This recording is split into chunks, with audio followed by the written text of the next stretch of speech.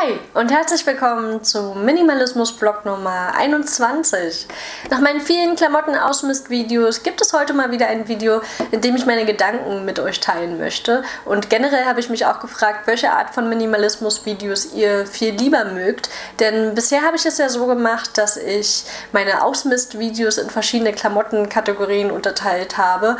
Und das aus einem einfachen Grund, weil ein einzelnes Kleiderschrank-Klamotten-Ausmist-Video wahrscheinlich auch viel zu lang wäre. Aber eine liebe Zuschauerin von mir kommentierte unter eines meiner letzten Ausmist-Videos, dass das auf Dauer nicht mehr ganz so unterhaltsam ist, was ich natürlich verstehen kann und darauf möchte ich natürlich auch gerne eingehen. Deswegen möchte ich euch noch einmal direkt fragen, ob ich euch bei meiner nächsten Ausmist-Aktion wieder mitnehmen soll oder ihr euch lieber Videos wünscht, in denen ich meine Gedanken wieder mit euch zu jeweiligen Themen teile. Deswegen schreibt mir das gerne in die Kommentare. Ich möchte natürlich sehr, sehr gerne darauf eingehen und dann würde ich auch meine nächsten Videos dann dementsprechend planen. Aber jetzt erst einmal zum heutigen Thema und zwar möchte ich gerne mit euch um den Moment sprechen, denn wie schon in einigen Videos erwähnt, finde ich, dass die meisten von uns sehr gehetzt sind von Uhren, von Zielen und auch von Terminen und wir sind eigentlich ständig rastlos unterwegs, immer begleitet vom Gefühl, etwas zu verpassen. Denn der jetzige Moment ist leider nur noch spürbar als eine minimale Trennung zwischen der für alles verantwortlichen Vergangenheit und der allzu mächtigen Zukunft, die uns komplett einnimmt. Und dadurch haben wir dann so gut wie gar keine Gegenwart, denn unser Bewusstsein ist die ganze Zeit mit irgendwelchen Erinnerungen oder Erwartungen beschäftigt. Und wir begreifen einfach nicht, dass es nie eine andere Erfahrung gab oder geben wird als die im Hier und Jetzt. Denn eigentlich schreiben wir ja jeden Moment Geschichte, also unsere Geschichte, aber eigentlich nutzen wir diese Möglichkeit selten bis nie. Und so verlieren wir den Kontakt, drastisch gesagt, komplett zur Realität. Denn für die Gegenwart, für das echte pulsierende Leben ist meistens keine Zeit. Die muss dann warten und das nicht nur einmal, sondern sehr, sehr oft.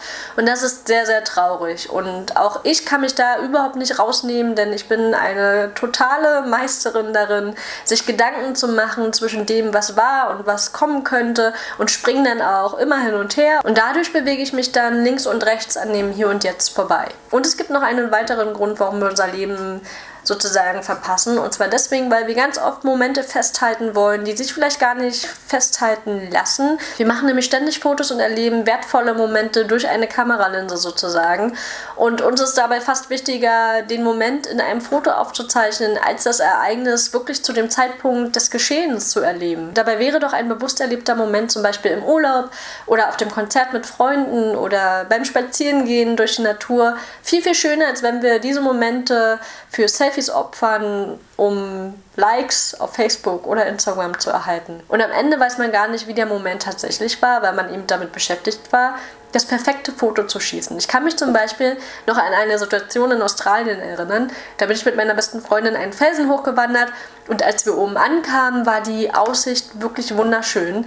Aber anstatt erstmal das Auge so weit blicken zu lassen, wie es nur kann, haben wir die Kamera rausgeholt und haben versucht, ein Foto besser als das andere zu schießen. Zum Glück bemerkten wir aber irgendwann, wie bescheuert das ist und haben dann den Moment genossen. Aber so oft merkt man das nicht und dann knipst und knipst man, bis der Moment vorbei ist, um sich hinterher das Erlebte dann auf dem Foto anzusehen, den man eigentlich gar nicht wirklich erlebt hat. Klar kann man sagen, dass man Momente festhalten will, damit sie nicht in Vergessenheit geraten, aber ich habe mich so gefragt, vielleicht vergisst man auch ganz oft Momente, weil man sie eben nicht voll ausgekostet hat und nicht zu 100% bewusst dabei war. Und im Studium habe ich mal gelernt, dass ein Foto die wirkliche Realität gar nicht abbilden kann, weil das eben auch nur ein Ausschnitt des Ganzen ist, währenddessen dein Bewusstsein ja schon mitbekommen hat, was da irgendwie gerade passiert oder wie sich der nasse Sand unter deinen Füßen anfühlt oder wie salzig die Luft ist oder wie das Rauschen des Meeres ist oder keine Ahnung, wie die Blumen neben dir riechen.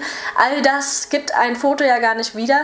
Aber bevor das jetzt zu philosophisch wird und den Rahmen dieses Videos sprenge, höre ich an dieser Stelle auf. Ich wollte lediglich ein paar Gedanken anstoßen, dass wir mehr den Moment genießen und mehr im Hier und Jetzt leben sollten. Und damit meine ich nicht, dass man gar nichts mehr fotografieren sollte, das könnte ich selber gar nicht, sondern viel eher, dass man darauf achten sollte, wann es eigentlich überflüssig ist, beziehungsweise wann es zu viel des Guten ist. Vielleicht denkt ihr ja beim nächsten Konzert oder im nächsten schönen Moment an meine Worte und damit verabschiede ich mich und wünsche euch noch einen schönen Tag. Lebt den Moment und genießt die Zeit. Bis dahin. Tschüss.